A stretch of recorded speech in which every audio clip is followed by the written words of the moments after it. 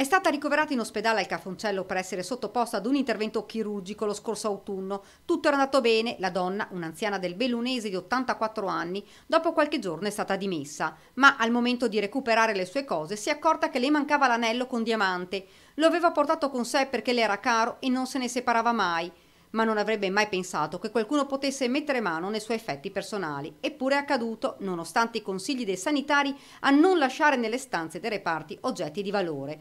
Così, una volta accertato che l'anello era sparito, immediatamente è stata presentata una denuncia ai carabinieri di Treviso. Gli accertamenti degli investigatori dell'arma, in collaborazione con la struttura ospedaliera, hanno consentito di risalire ad una straniera, anch'essa degente presso la struttura sanitaria nello stesso periodo dell'anziana, e soprattutto sua compagna di stanza.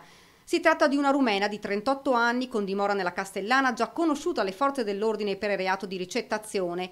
Dopo gli accertamenti è stata disposta dall'autorità giudiziaria la perquisizione dell'abitazione della donna. I carabinieri hanno trovato nella casa della rumena l'anello di pregio della vittima. La 38enne è stata denunciata a piede libero per il reato di furto.